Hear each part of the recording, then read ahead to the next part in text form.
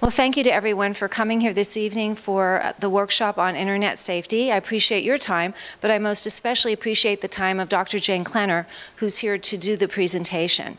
Um, she did this totally voluntarily. We appreciate everything that she put into it um, to support the Safe Environment Program here at the Diocese of Scranton. So without further, further ado, I'd like to introduce Dr. Jane Klenner for our presentation this evening.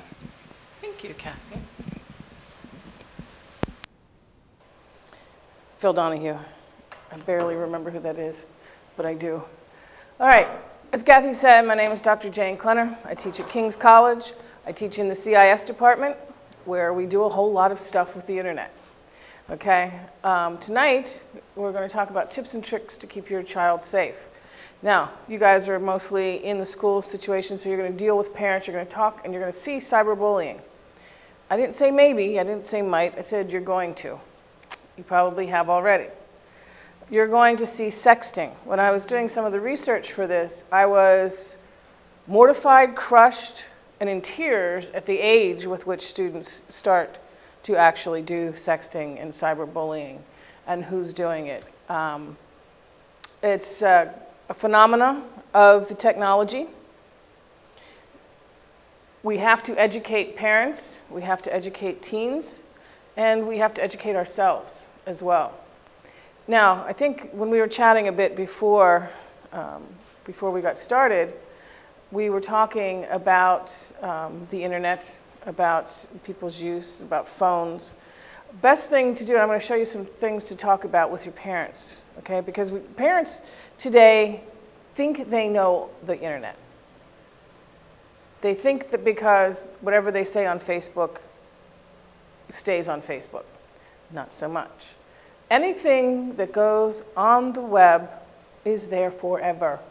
It's digital data, and anybody can get to it from anywhere. I just worked with my students uh, in the CIS 490 class. They're doing a presentation on the Internet of Things. And as we connect more and more of our things to the internet, we have increasing areas of vulnerability areas that people can come in. They can hack you. They can watch you. They can stalk you. And it's a scary place out there. Okay?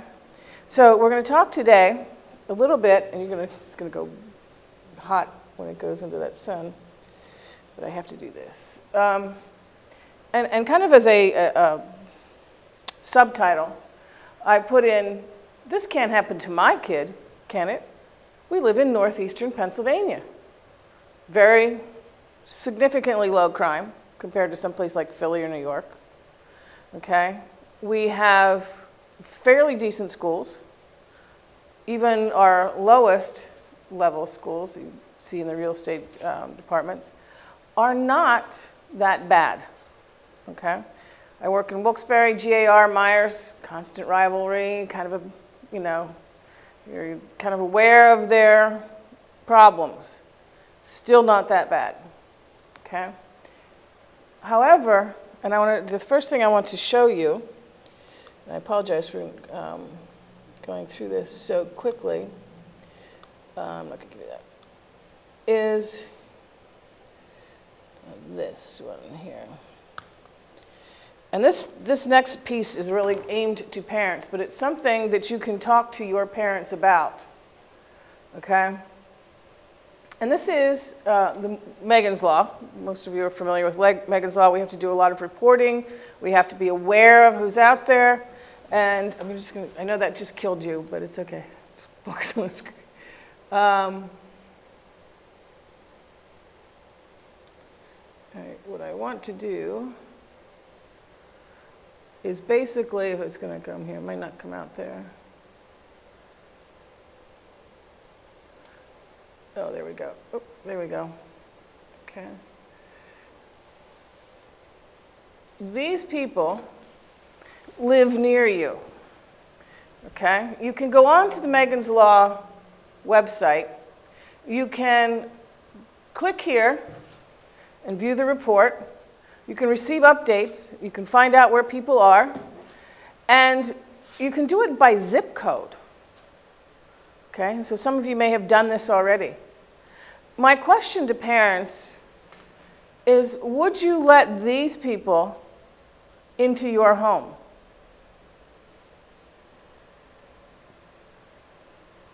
Would you let those people into your school? Are they even allowed to be near your schools? No. Right? They have to be within a certain, uh, it's like 100 yards or 500 yards or something. Okay? These people can come right to your screen, right to your child's bedroom. Okay? Minimize that. Okay? Now, one of the things that I will repeat during this presentation, and this is for grandparents, for parents, for anyone that has children who are connected via any kind of network, when they're in your home, you're in control. They don't need any more friends. They've got 5,000 of them on Facebook. Okay? What they need is a parent. Your job is to keep them safe. One of the things I strongly recommend is that when children go to bed, all it's bedtime, homework's done, all devices out of the bedroom. Nothing in the bedroom. No phone, no cell phone, no laptop, no notepad, no iPods, nothing. Okay? And I'm going to watch a short video that hopefully will run on here.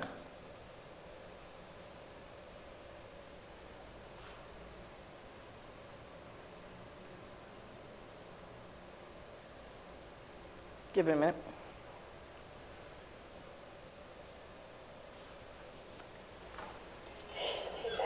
Can you hear that? I can't stop thinking about you. It's buffering. I know you've been waiting for this for a while. I wanted to give you something special.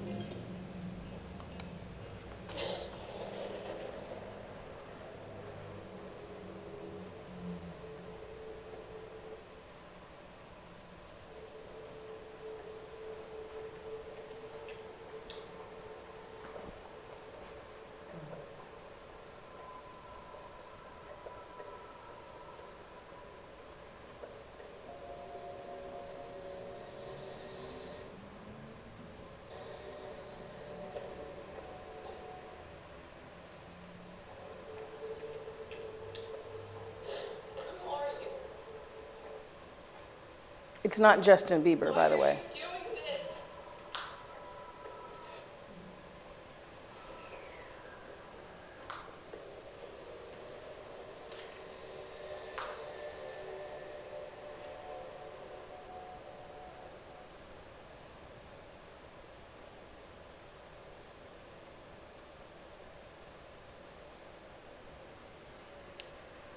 How did that set with y'all?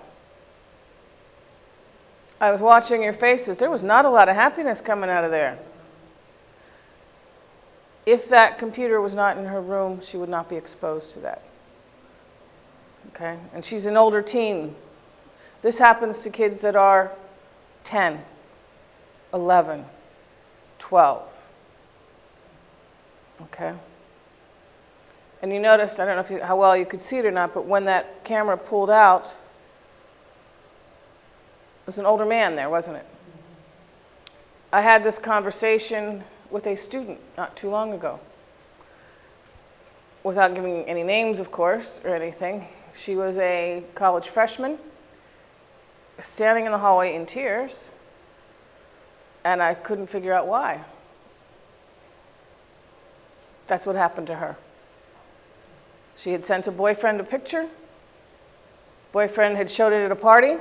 They, they had separated. Boyfriend went to a distant college far away, had it out at a party, sent it to one of those guys at the party. Guy at the party started sending her emails, Facebook posts, Instagrams.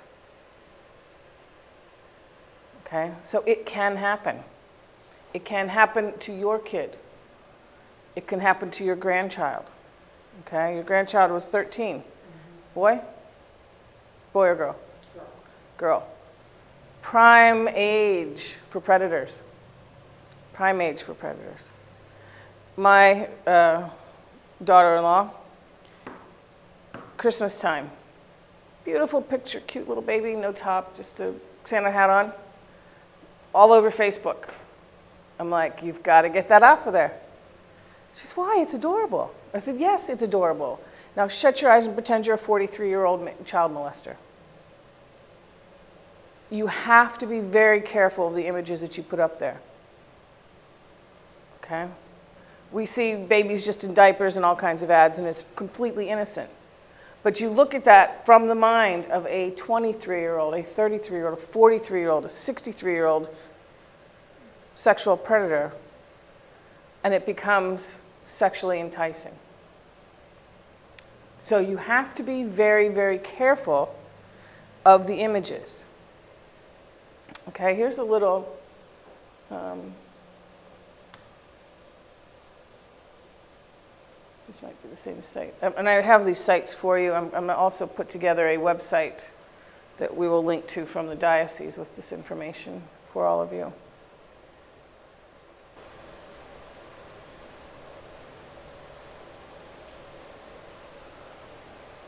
These are perspectives of um, chatting online?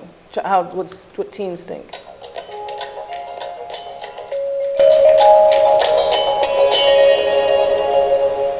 I communicate online um, pretty much through Facebook. My main way of communicating with my friends is over texting and a little bit of email and a little bit of Skype. I like to use games to connect with people online. Oh, that goes so when I accept a friend on Facebook, I primarily look at mutual friends. maybe I'll be in Spanish class one day, and some kid I've never even met before um, will look at my Facebook, and then we might become friends. Well, Friendless works on Xbox Live. It's sort of like Facebook, where you can send and receive um, friend requests.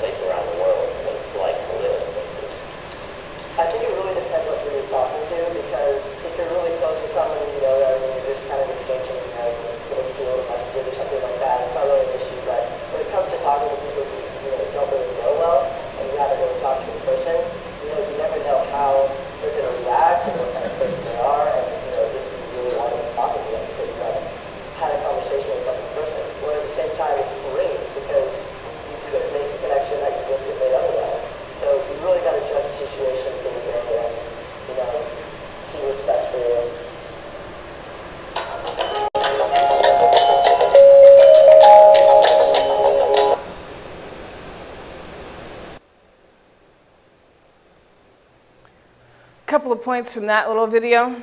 First of all, that's teens talking about, teens that are aware of, of what's going on, that could go on on the web. Gaming, we sort of, we tend to kind of forget about gaming, and it's like, oh, mostly guys. 35% of gamers are female. They are younger. They are also primarily ones that are going to be stalked, okay? Gaming is a great place, the online gaming. Predators love to swim there, okay? Big shark tank for them. You heard the young man's, don't ever use your real name. Don't ever give out personal information, okay? One thing we, I wanted to just point out as a cultural uh, thing is the boys were in sweatshirts, high top, high necked vests. Young woman, very low cut. Okay, that's our culture. Our culture over sexualizes young women. Okay, so this also happens online, what they see online, where they go online. All right. Um, here's another one from Common Sense Education. Oh, wait, this, I'm sorry, that's the same one. Okay, never mind, I'll skip that one. I must have missed that link. Okay. Um, I was, while I was kind of away over spring break, I started to put this PowerPoint together. I was in Charlottesville. Hold on one second.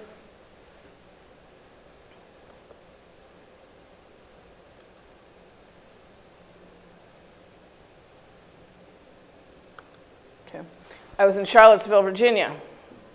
And actually was literally typing uh, my resources and putting to, starting to put together this film, and this was a newscast that came on. It's almost like it followed me as I'm doing this. It's kind of like, okay.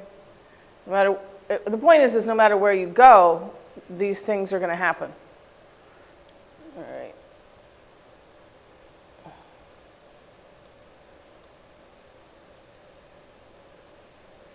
This young man here, there's usually a, there was a video with this. I guess maybe not. Uh, 19-year-old Jacob Meadows, Greene County, which is very near uh, Fluvanna County down there, was arrested. Oh, there we go, sorry. Some kind of warning. Great.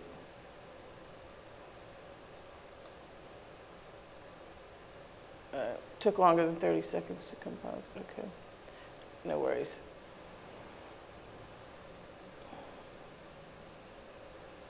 All right, and his, um, he was 19, felony threatening bodily harm over a communication device. That's cyber bullying. Threatening harm over a communication device. Okay? So it's out there, it's real. It doesn't happen just in Philadelphia, it doesn't happen just far away, but it can happen anywhere. And it is, it, as long as these kids are using, or even adults, my son, you talked about the gamers, my son played online game. We take a, cruise to Bermuda. He's going to go meet somebody. Now, mind you, at this time, he was 21 years old. And he knew everything. He still does. Okay. but he knew everything. He goes to Bermuda. I'm like, okay, well, he's going to go meet this guy, Josh, or Zach, or whatever his name was, that they met online and go to his house. I'm like, over my dead body, will that happen? so I went with him, met the young man, met his parents. And then it was okay. and they had a wonderful afternoon together.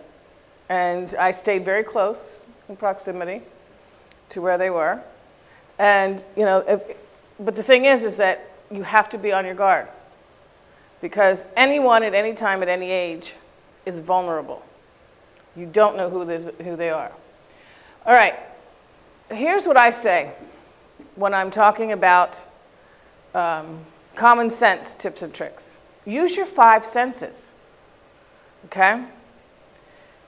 Sight, eyes on the machines. At the end of the night, who's paying for these phones anyway, right? Are those kids paying for the phones? Generally, teenagers, are they paying for the phones? Maybe they shouldn't have them. But you're, you're the adult, you're responsible for them, you're paying for the bill. You take that phone, at the end of the night, you look at all those texts. Okay? You see who's texting in and out. You can also look at that on your bill. Find out what numbers are being called. Who's texting? What's, look at your data plan. Are there, if there's a big shot, there's some kind of data that's being used. Okay? That's your sight. Keep things in sight. I used to train when it was just the computer and the internet.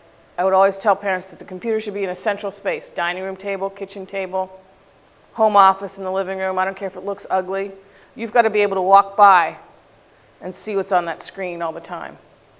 If your kid is going like this when you're walking by, stop, open that screen. Look at what's going on. Look at what's on the screen. Smell. Parents, you could smell a rat. If there's somebody that's calling, if your child is starting to look withdrawn, something's wrong. Touch. Okay? Uh, I'm sorry, your ear, I moved that backwards. Okay, listen to what they're saying or not saying. More importantly, what they're not saying. I know with teenagers, you, how was your day at school? Fine. What'd you do? Nothing. What'd you learn? Nothing. Okay, one word answers. Look at what they're doing, listen to what they're saying. Okay?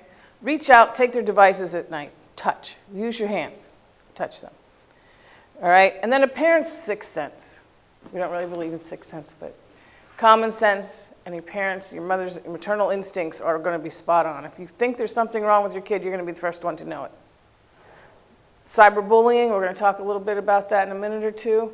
Cyberbullying has direct physical, psychological, and emotional impacts on students. And they are very visible signs if you're paying attention. And even if you miss it, if you have a good relationship with their friends, their friends may come to you. Okay? Friends are big. Peer group is big with these kids. Learn how to, to get in touch with that. Sexting is huge. Sexting, um, in the, I'll show you a slide here that just blew my mind away. All right, sexting, particularly, we have young women imitate the older women. They imitate what they see on TV. Anybody like let their children watch TV anymore? You can't even watch Disney, okay? Sesame Street and the Muppets, I think, are still okay, though. All right? But you get these young teenage women, and all they're seeing is the Kardashians, the unreality TV, okay? There's no absolute talk about womanhood, about feminism, about what it means to be a woman, particularly what it means to be a Catholic woman in today's society. And people, we have that edge. You have that beautiful, beautiful baptismal promise that you can work with your kids with. Okay? And remember, you know what? They're going to make a mistake. We did. And about you, but I spent a lot of time in the principal's office. Okay? They're going to do that. They're going to fall. We pick them up. Not a problem. But we need to talk to them about their body, about how it's represented in culture. And I'm telling you guys, if you didn't buy, if they didn't buy the short, short skirts, okay, they'd have to lower the hems because they'd be all on the shelf. So it's a matter of what we permit our kids to do. I talk to my parents, I teach CCD. I said, people, they come to Mass, short shorts are not reverent. But this culture leads them to this. And it leads them to think that sexting is okay. And again, younger, the younger the child, the more innocent they are, the more naive they are about where their data goes. By that I mean the images and the text. Okay? Sexting. Percent. 5.5% of age 12, 12 year old children sent or received a sexual text age 12. I don't know about you, but that blows my mind. Okay? Age 12 is what grade? Eighth grade? Seventh, eighth grade? Seventh, eighth grade. That is confirmation years, people. Great time to bring this into the curriculum to talk about not just the body as a temple, not just the theology of the body, but how technology is used. Okay, how do we use technology? Let's do this from the Catholic perspective. Talk to them about the Catholic perspective. This is 12 years old. Males, 19% have received, which means that the girls are sending them this stuff. Okay? They think this is how to, they, they get a guy. How they get that guy to like them and send them a, a suggestive or provocative or sexual picture? Okay? Age 17. The sample of 5,500 people, 26% of those were, were 17 years old. This leads to active sexual behavior. Yes. Wait, wait, wait. I gotta get the microphone. Hold on. Gotta do my job here. Jane, is, is sexting primarily the transfer of pictures? Yes. Yes. It's, it's, it and it's also video. Video, pictures, all these cameras. If you look at your camera, look at your little um, iTablet there, all right, you can do video. Okay, so it's video, it's pictures. It can start out with suggestive texts. You saw in that first video that we talked about, or we showed you, where the young woman was I want to do something very special for you. There was something that led to that. Okay? And so it may have been, obviously, this was not somebody at school, but it might have been somebody that was on a Facebook or an Instagram or Snapchat with her. Gosh, you're beautiful. I'd like to see more of you. Okay? Imagine that. That happens. Okay? There's a lead in, there's a hook. There's something that brings the girl to do this. It's a boyfriend. It's just back in the day, the back of the 57 Chevy, our grandparents, okay? If you love me, okay? They need to understand what love is. We need to teach them that early. We need to teach that in school and in religious education. Okay? Those numbers are staggering. This was a Google search that I did. And I scrolled down to the ones I really wanted to make a point with. but sexting, how to send sexy texts and messages. Cosmo. Sexting by Wikipedia, which was, uh, uh, okay. 50 example sexting ideas you can use right now. It's a how to. Okay? Urban Dictionary just explains it. These 25, 25 sex quotes and sexting examples. It's there. You type in sexting, this is what comes up. Okay? How easy is that for our students and our young people to learn this? They see it on television, and there is nothing in our culture that is counter to, countering that. And cyberbullying is a big thing. I'm not in any way minimizing that because that's it's but those numbers are dropping by the way, which is good news. This is dangerous. This is very dangerous. Missing children, this is how they go. Okay? Let me see if I can find it. If I have it on here. Um, all right. Repeat. This is another tips kind of frame here, or slide. Take five to 10 minutes at the end of every day. And you know what? If you go over it with your kid, they're going to be really paying attention to what they go. I can't, I'm sorry, I can't text stuff like that. Because my mom reads my texts, or my dad reads my texts. Review the apps on the phone. We didn't talk at all about that. You know what I mean by an app? Okay? How many of you, y'all have your phones, right? Mine's charging over here. I think I have somewhere in the neighborhood of 25 apps.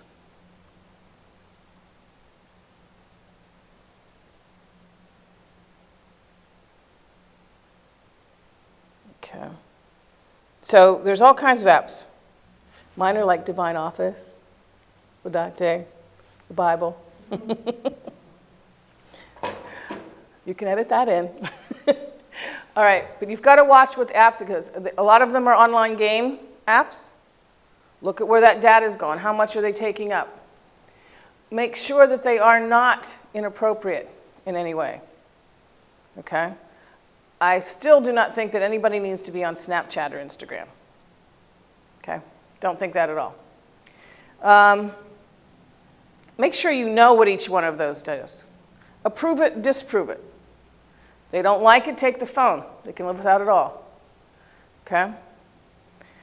Check your phone bills for unusual charges. Also, the unusual data usage. Things start spiking, your data starts spiking, something's happening. Movies, videos, pictures. Take five minutes to talk about to talk to about to talk to your child about these things. Okay. Um, get them to understand that it's not just because it's there that they have to use it. That they don't have to answer every text that comes in. And they have to develop that sixth sense, like the young woman spoke about in the earlier video. About you got to kind of know if it's you know, it's kind of hinky, you let it go. And then, as I tell parents all the time, be a parent, not their friend. They don't need any more friends. They got 6,000 on Facebook. Okay, you be the parent. They only have two of those. And take five minutes of your time, sit with them, and set every social media to private. Okay? It's still hackable, you can still get to it. You've got a GPS locator on your phone all the time. So be careful that those are off. Anybody can ping them and find them. Okay? All right, this is uh, Facebook, just in case you didn't know where these things were. Facebook, settings, security, general, they have all of these different things. There's the apps in Facebook that you can set to receive or not receive. Okay? Login alerts. I set, shut that off because it's a distractor. They're sitting in school, ping, ping, ping, ping, ping. That's their Facebook going. They're going to go like this. They're not going to be paying attention. So even that's not, maybe not bad, but it's, if you're teaching, it's really annoying. Um, just make sure that the social media is set to where, you, where it's private. And I was going to have everybody just set theirs, but we don't have that. All right, cyberbullying. They can't hurt you and they can't get you from inside the computer, can they? What do we know about cyberbullying? Anybody have any, you guys from the schools? Any examples? Anybody have any good stories they'd like to share?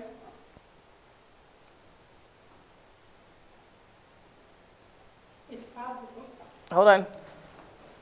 Phil's on the way here. cyberbullying is probably the most calls that we get in our office, In your offices. central office um, of the schools, diocesan schools. Um, Just for anybody else watching. Sure, more, more than the other kind of bullying or anything like that, most of what comes to us is cyberbullying. As young as third grade, fourth grade, fifth grade. Unreal. Okay, thank you. Just, yeah, you can shut that off and pass it around. All right. Cyberbullying, there has been a great deal of time, effort, and money put into it. Homeland Security is involved with it, the NSA is involved with it, um, our diocese is involved with it, okay? So we have spent a lot of time, and it's been good money invested. Cyberbullying is decreasing. The numbers are coming down with that. Not far enough, but it's a start. Okay? Cyberbullying is mean and it is invasive because we have cell phones, pads, notepads, notebooks, airbooks, laptops, home computers, games. Okay? There are just a myriad of ways that we can get to. Is that still on?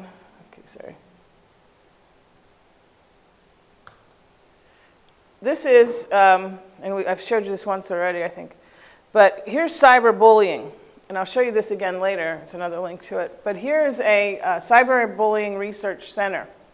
And there are tons, what to do about teen sexting, how parents can build resilience. Resilience is something that we need to talk more about. It's uh, more from the psychological standpoint. People are going to get bullied. What are we going to do about it? Resilience is that particularly you have that beauty that being in a Catholic school, you can talk to them about God. And you can talk about God will always love you. You are not alone. God is your shield. You have your faith. Don't worry about that. You are a beloved daughter or son of God. That is something that's extremely beautiful that we can use in our schools. We can't use that necessarily in public schools. So that is a gift, people. Um, there are books, there's a blog, there's presentations, there's law, there's research. There are resources.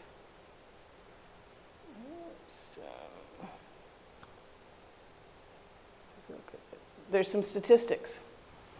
Okay? 2016, cyberbullying data. Okay, coming back up.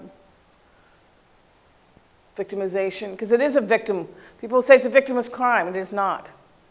It's like prostitution is a victimless crime. It is not. Um, there's some resources for you out here. These are great resources. And all of these places, except I think Homeland Security, um, have presenters. They have printouts. They have things you can use. Um, cell phones. The kids have them from the time they're about four, which I have no idea why. Like, I can't for love nor money figure that one out. What, who does a, four, a four-year-old need to call? Other than Santa and Grandma. Okay? So that's um, one example. This is Megan's Story Foundation. You want, a, you want a tearjerker to tell your parents this is it? This is Megan's story. And it's very, very sad.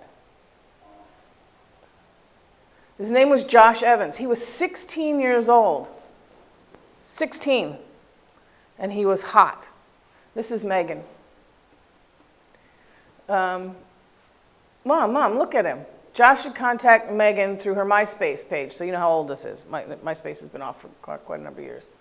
And he wanted to be added as a friend. Yes, he's cute, Tina told her daughter, but do you know who he is? No, but he's really hot. Can I add him, please, please? And so she did. And she became familiar with MySpace. He said he was born in Florida, recently moved to O'Fallon, which I guess is where they were from. Okay. And this is how she expressed who she was. She loved swimming. It talks about what a great kid she was. But things were going exceptionally well. She'd shed 20 pounds. She was down to 175. She was five foot five and a half inches tall. She just started eighth grade. Immaculate conception. Okay. Eighth grade. She was on the volley team, volley team um, at the, end, all of these positives, Tina ended a, decided to end a friendship with a girlfriend who lived down the street from them. The girls had spent much of seventh grade alternating between friends and the next day not being friends. How many times does that happen? What happens is how this child reacts. On Sunday, October 15th, Megan received a puzzling and disturbing message from Josh. I don't want to be friends with you anymore because I've heard that you're not very nice to your friends. Okay? And then this is um, Tina was worried, the cyber world, 70 million users. At any rate, as Megan's 14th birthday approached, she wanted to have another chance at MySpace. Okay, Monday, October 16th, my birthday, by the way. Um, when she got home, she asked her mother to log into uh, to MySpace, see if Josh responded. She, had to, she was in a hurry. Meg was sobbing, and the story is Megan is, she comes home, and she's uh, heartbroken, and this is the part where we talk about resilience.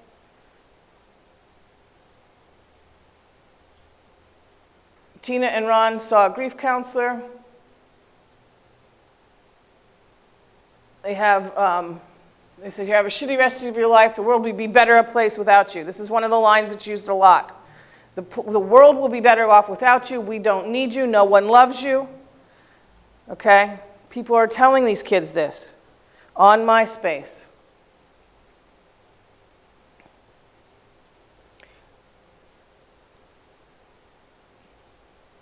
Tina, I mean, not Tina, but Megan kills herself. It happens that the neighbor down the street informed the Meyers that Josh never existed.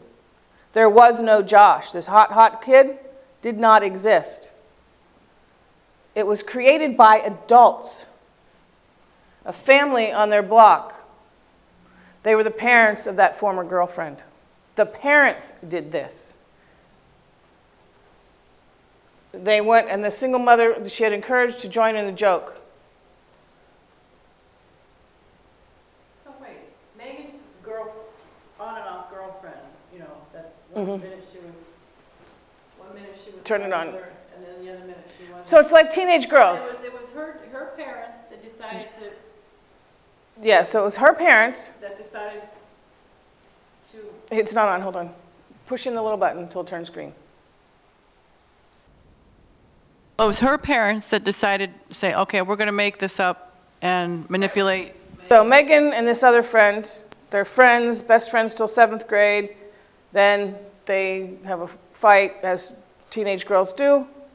And then they go back to being friends, and then they're not friends. And so they create, the parents create this joke, this Josh, to kind of play up to Megan. And then at the end, they kind of crush her with the nobody wants you, the world's better without you. Megan kills herself. And she wanted to get Megan to, this is what they said. She wanted to get Megan to feel like she was liked by a boy and let everyone know this was a false MySpace and have everybody laugh at her. I don't feel their intentions were for her to kill herself, but that's what happened. You can't know what's going to be in the mind, of, particularly of a teenage girl. Okay? You got it. All right. So this is parents. But there are teenagers doing the same thing. You don't know who's out there. You don't know who's controlling this. You don't know who they are. You should know everybody's friends. Every friend that's on that Facebook page, that Instagram following, the LinkedIn, kids don't usually use LinkedIn, but Twitter accounts. As a parent, go through them all. Know every single one of them. If you don't know them, get rid of them. Just get rid of them. Okay? So, long story short, that was a very tragic example of how people can get hurt. Okay? And that, it's just sad that, and you know, back in the day, people were mean too. There were bullies back in the day when we went to high school. Okay? I had four brothers. I didn't have a real big problem with this. All right? But there was always that kid that people made fun of. The person that wasn't quite the cheerleader. Well, now you can get millions of people right away. You have a question? No. Okay. I'm just breathing deep. okay, this next one is net setter. I forget what I put up here, but.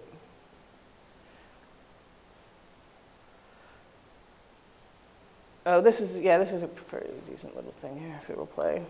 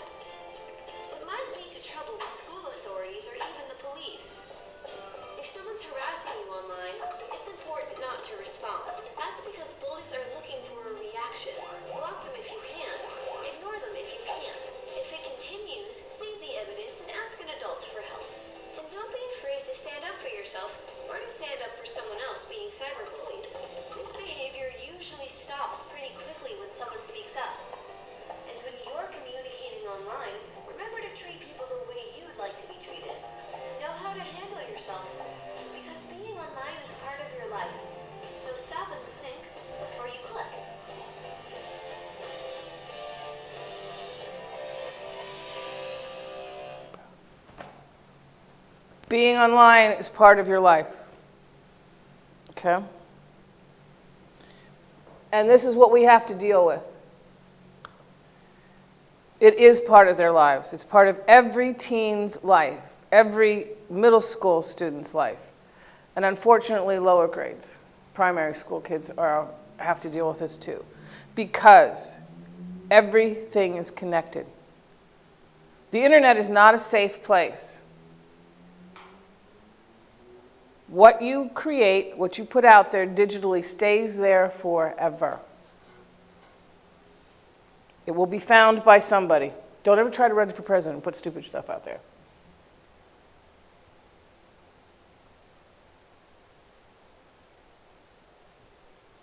This is uh, NetSmartz Missing and Exploited Children. This is another.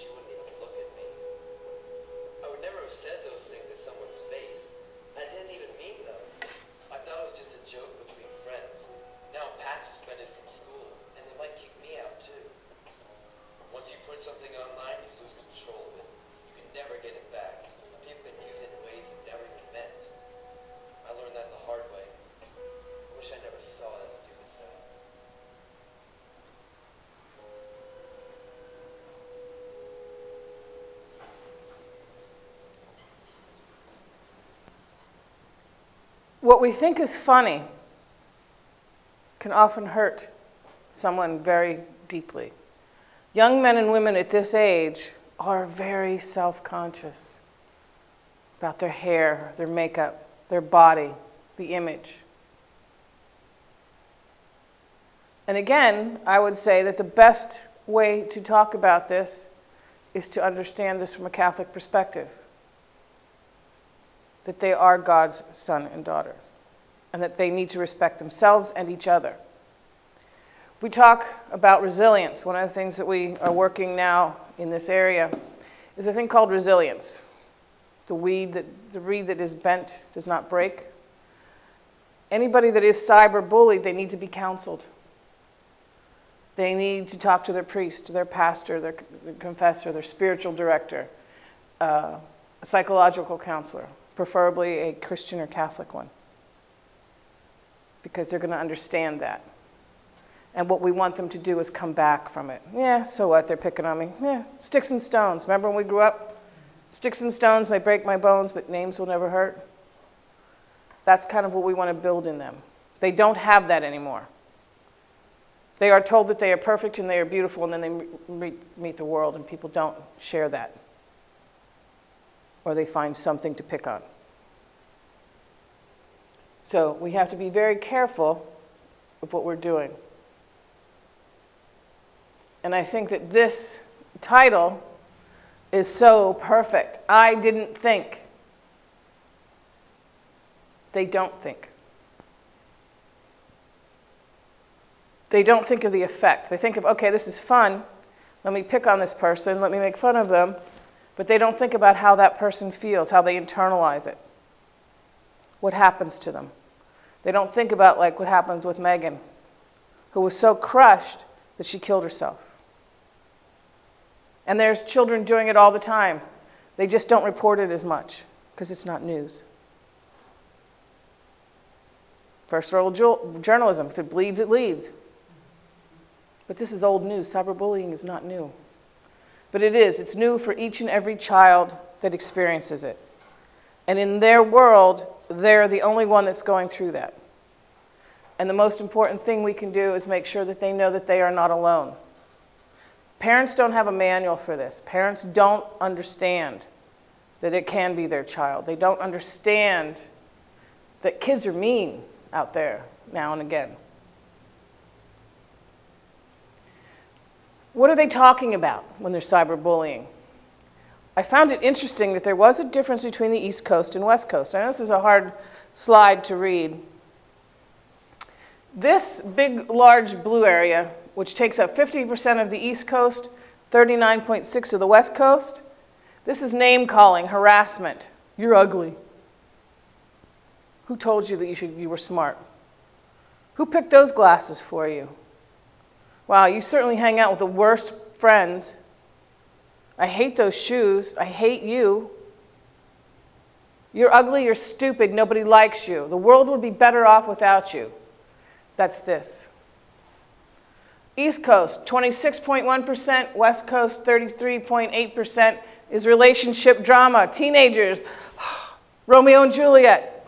Okay? It's drama. I hate you.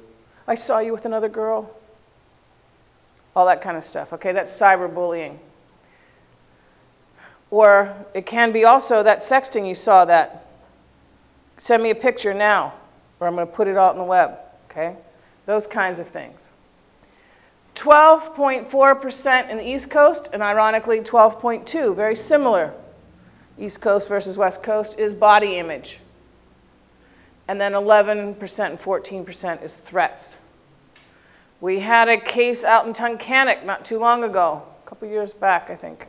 16 year old girl threatening, sexting, and her mother was fine with it, by the way. I don't think I think she's 16 now, she might have been younger then.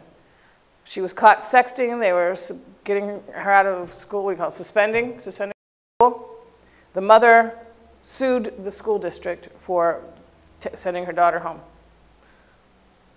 Okay, this is the way they're thinking. Not particularly brilliant in my book.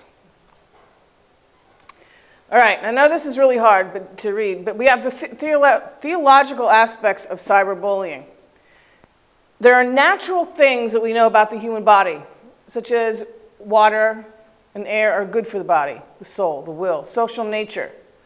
We ought to be able to have friends, join clubs. The aspects of human knowledgeable, knowable by reason, material, body, soul, spiritual. We are social creatures the internet and social media plays to this part of our humanness. We are social beings by our very nature. We have community. We have congregation in church. We have school groups. Girls want to be cheerleaders, boys want to be on the football team. You want to join. What happens is cyberbullying, cyberstalking, it, exi- it extinguishes that desire. So it goes up against that theological um, tenet that we have up there. Okay? Additionally, it prevents social engagement. You get burned on social media, you don't want to go back out there. And remember, it's part of our life from that last video. It is part of their lives. And so when they are bullied, when they are stalked, when they are involved in sexting, this takes them out of that social nature and it makes them want to hide. We talk about social media. It is, it is invasive, it is unregulated, and the sin is that it is a public slander of the person. So even if you are posting just to that person, friends of friends can see it. Okay? It can be out there. It is damaging it is damaging to the self image, it is damaging to the person. So we talk about cyberbullying as being the event, and social media is the platform. It violates our socialness as reputation is one of the things we bring to other people. I am this person. I am a professor at King's College. I am a Catholic. I am something or other. When you have people on the, who are cyberbullying, they are taking that identity away from you. They are taking that reputation that you may have worked on and destroying it in a very, very public manner. All right? And it also, because we are now isolated, we are unable to engage in social relationships. And it deprives us of the right to even begin those relationships. And I have to thank my friend Dr. Chris Carr of Misericordia, who helped me to formulate that. He teaches theology. So when you think about that, there are theological aspects of cyberbullying. It's not just about the technology. Okay? Signs that your child or your grandchild or your nephew or your student is being bullied.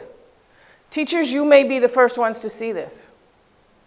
Okay? If you're teaching, you're going to know that student, oh, she's usually so bright and happy. What's the matter? Something, you know, those questions you have to, is there something, everything okay at home? Yeah, everything's fine at home. Get to that point. Are you online? Go out there and see if, you, if you're friends with them. I will, for 98% uh, of the time, will not friend any of my students. I will, and they're, they're older, they're over 18. But I do not want that issue of authority in the classroom to be at all damaged by the friendship online. LinkedIn, when they've graduated, fine, no problem. Okay? But if you suspect something, you've got to do a little investigating. You're not, so, you're not stalking, you can make notes, okay?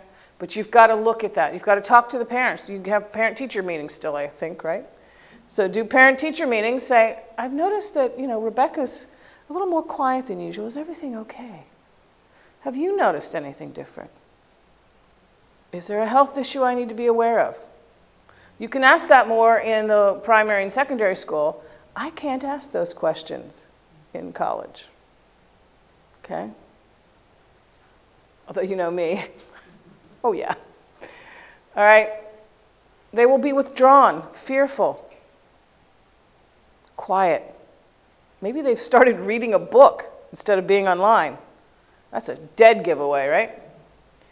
Um, I might go through, go through a little bit of this, but there's a nice, a neat quiz online here. I'm just going to show you a couple of the questions if it opens up and for us. Again, this is that Cyberbullying Research Center where I got a lot of. Homeland Security also has a great bit. Cyberbullying is just a problem in the United States. Is that true or false? False.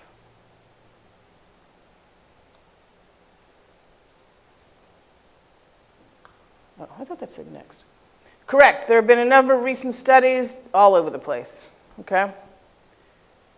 Good. I have a smart class. Where's the next button? There we go. Okay. Most targets are cyberbullying. Tell an adult about their experience, parent or teacher false. Okay, let's see.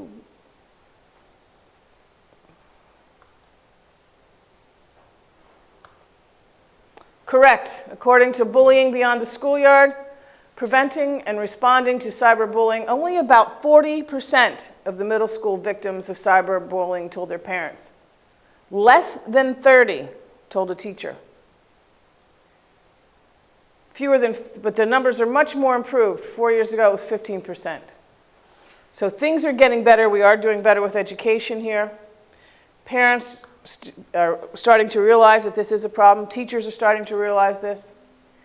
Victims of cyberbullying are at an increased risk for, tra for traditional bullying, victimization, substance use, and social problem or school problems. Let's see, we'll try true. You guys are getting 100 so far. True, it's a smart group. According to an article published by the Journal of Deviant Behavior, these victims, and you'll notice that the drug, the substance abuse is one of the number one uh, side effects, or results, or outcomes of cyberbullying, of any kind of bullying, by the way. All right? So that's just a few that you can go over with parents. You can um, take it yourself. Go through a couple, you know, a couple, two, three of those things and see where you, where you stand with that. Because it's interesting of what we think about. Our preconceived notions may not be correct. And I'm going to go back to that resilience piece, is here's where we start to talk about that resilience. We have to build that resilience in kids. It's okay to be cyberbullied. It's okay. Just shut off the phone. Stay away from the internet. Block that person. We have that feature now. Phones, you can block a caller. Take a number, block it. Facebook, block it, and you report those things. You teach your kid, report those things to Facebook. Okay? Report them to the police. It is a crime. Cyberbullying is a crime. Okay? Gaming environments. It's not your dad's Super Mario. All right, and I showed you the League of Legends. This is a good example of um, this company does a lot with reporting and allowing teams to report and it tries to really clamp down on who's, who's out there. And they keep good track of, of what's going on. Um, but they have 100 million monthly players. Most of them are between the ages of 19 and 25. And their content includes blood, fantasy violence, and suggestive, strong language, suggestive themes, and the use of alcohol and tobacco. What does this do to kids? When they play it, when they immerse themselves in these fantasy games, they become real. Their behavior changes. Okay? That was basically my point on that one. And I can't. And we're going to pause momentarily while we turn on that. Okay, good. I can figure some things out here real quick. Okay, there's the. I look better in dark. Don't I look slimmer though?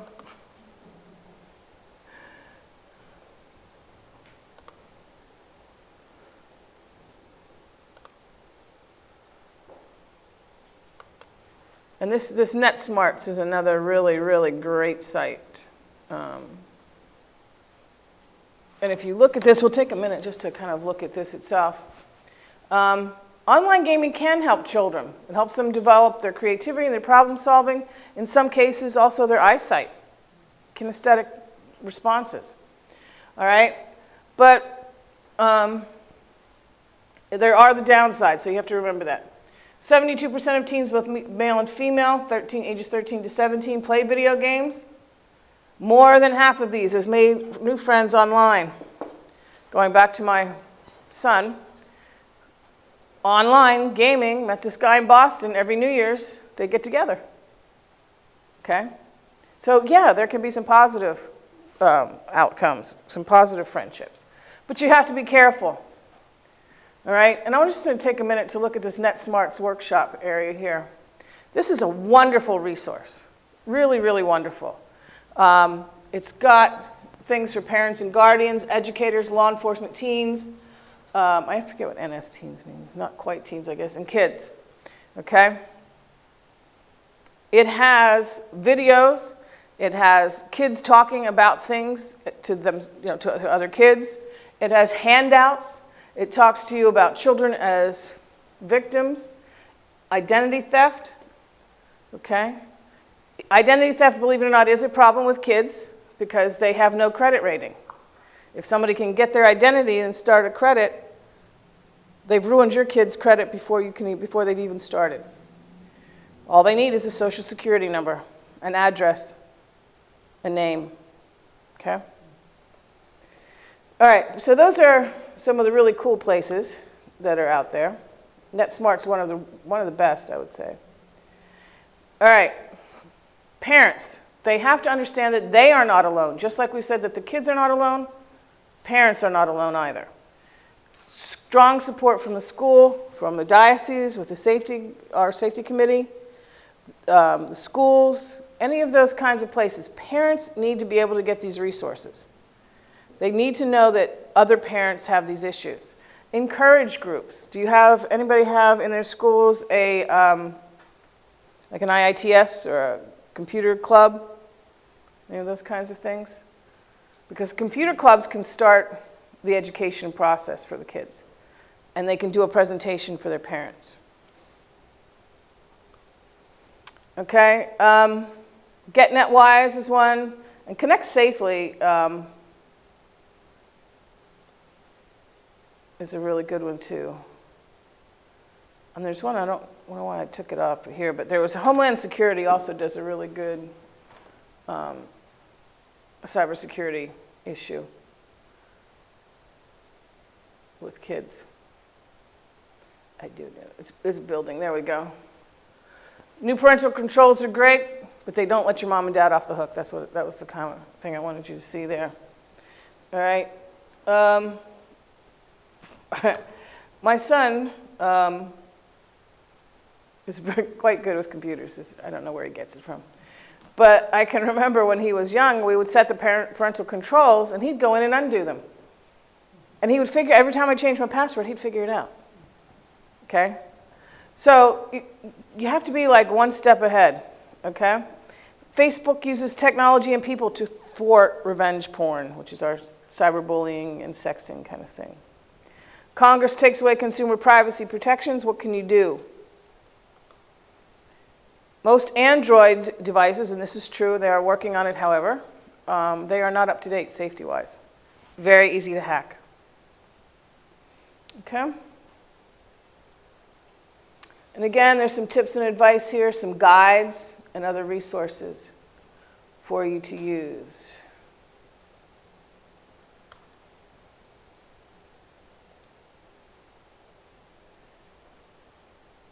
And some other resources here, the SPCC, indicators of crime and safety, school crime and safety, some white papers, can social media save kids' lives, a guide to sexting and victims resource. And these will be available to you on the web as well. All right, two minute drill. So I do with my students all the time. You get a minute or two to think about it. And then we'll pass the microphone around. But I want to hear, we'll start with you, because you work for her. what did you learn today in our cyberbullying presentation? I think how easy it is to uh, for someone to get in there into you know into into cyberspace and pretend to be somebody else and take people unawares.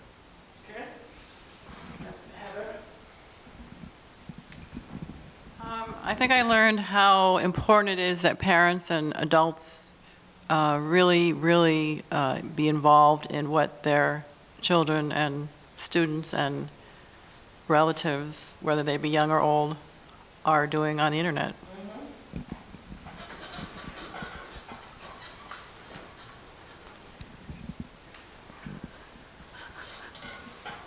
I think one of the things that concern me is that we put together these things and there's four people here. To your point that parents do think that they know everything that there is to know about the internet.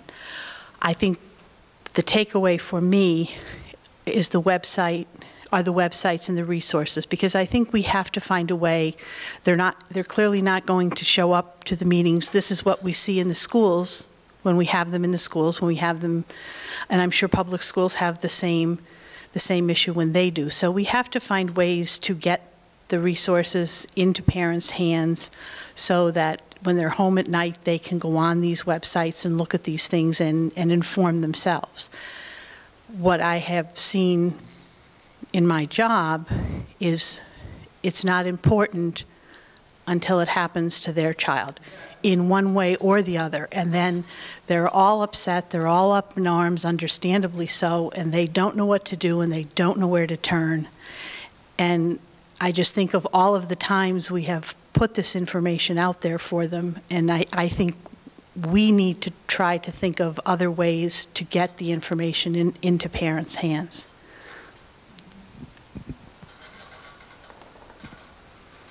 Um, the best thing that I think I took away from it tonight was we have a very important card that until you spoke of it today, the Catholic card. It's important to us because this is who we are. This is against our teaching. We have to make them aware of how important it is. And it's a good fallback. I mean, if they learn it and they learn it and they learn it, muscle retention, they're going to say, I- I have somebody that cares. He may not be visible to you, but he's in me. And I never thought of that until you said, like, the theological tenet and the Catholic. It's against our religion, it's against who we are. We need to use that. So thank you. I took that. away. Kathy, doesn't get off the hook. Thank you. I was very pleased to hear that the cyberbullying rates are starting to decrease. So that for me was a, a positive thing to take away from the presentation. Um, and certainly not to minimize that there are a lot of issues that we all need to deal with, whether we're educators, whether we're human service professionals, whether we're parents. I think the part about resilience is extremely important. Uh, resilience is something that I have always been fascinated with from a number of perspectives in terms of child development. What is it, and what are those characteristics that some children seem to have almost innately that results in their being able to withstand certain things that happen to them in their lives? And I think maybe um, to piggyback on what Kathy was saying, one of the things that maybe we, we can focus on with parents is building that resilience. If it's sometimes threatening for parents to hear about statistics or think about these sorts of things happening to them, but it should certainly not be threatening at all for them to think about how can you develop, help your child to develop more self-confidence, help them to be a stronger individual, which will benefit them at, at any point in their lives. So I think there's so much here that we can take away, that we can look at, and hopefully we can share with our stakeholders, with our, um, our families, and be able to assist them in uh, trying to develop these, these kinds of protective services. Great, great. I think you guys all did a, you passed your test. You can, you can move on to the next grade. Um, I find that this is like evangelization. You got to keep doing it. Got to keep bringing the word. Okay? Parents need to hear that. You might want to send home a monthly newsletter, a cyber newsletter. Okay? You can do something. It doesn't guarantee they're going to read it, but you, you've sent it home. And when they get up in arms and complain about th- what happens, well, we sent this home. Were you not reading it? okay? We can talk about these things. We can um, add modules, start to look at our curriculums. I know there's like, oh, there's no more room for anything. But I think that if we can, uh, maybe even a, a club, computer club that talks about this stuff. We said that April was our Safety Awareness Month. There's also a month, I think it's October, but I'm not sure, um, where cyberbullying is the theme of the month. And that's a good time to tie into those tons of resources that'll be out there. Do some activities, okay? Have a demonstration, get speakers. You can always call me after soon as graduation's over. Um, but, you know, get these things out. School board meetings, they're going to come and complain about, you know, something, right? Well, we're going to take 10 minutes. We're going to tell you about cyberbullying, and then we're going to start the meeting. Okay?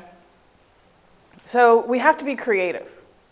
It's there, and as you said, and as they said in the, the video you saw, it is part of their lives. It will always be a part of their lives. And as we move into the Internet of Things, how many of you have a Fitbit that you use? Nobody? Okay, obviously I don't, right? all right. So, Fitbits, your cars, all of those sensors, all of that is data.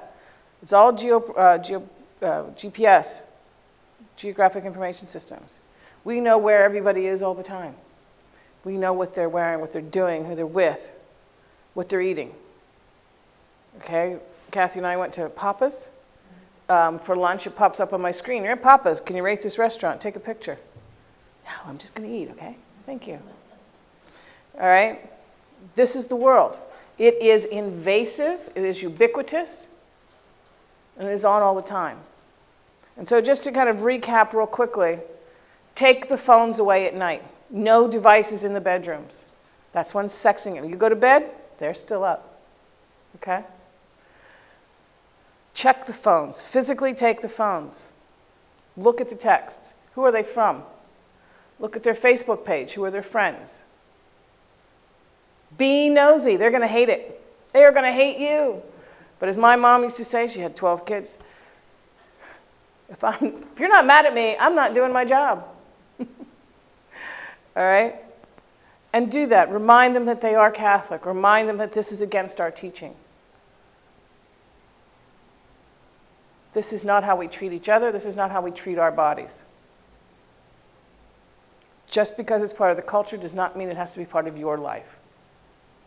And yeah, they're going to hate you because they want to do it, everything that everybody else does piercings, tattoos, immodest dress. They want to do that because that's what the culture shows them to do. But we have to model the proper behavior for them, and we have to instruct them in that. Okay. Um,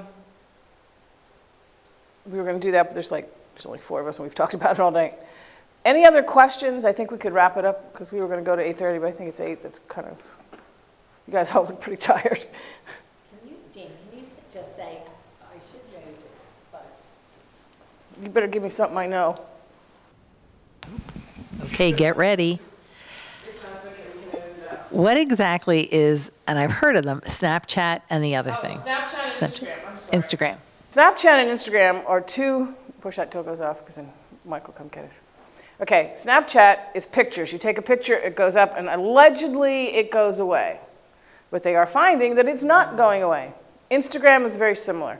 You pop things up and you send a picture, or a couple of pictures, or a video, and you comment, and then people like it, or it's kind of a quick, here I am, here's this beautiful. Because it's, you had that app to do. It's an app, correct. All right, they have Skype on their phones, they have FaceTime on their phones. They are connected in ways that are just mind blowing. Like, who has time for this in my world? you know, give them more homework. That's the idea. Um, give them books. There was never this problem with books. Any other questions? Did you get enough information? Too much? All right. Okay. So there's a value to it, and if you, like, um, there was somebody that didn't come to the King's one.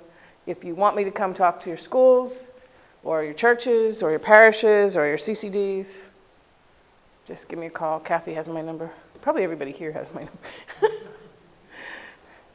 All right, that's it. I'm done.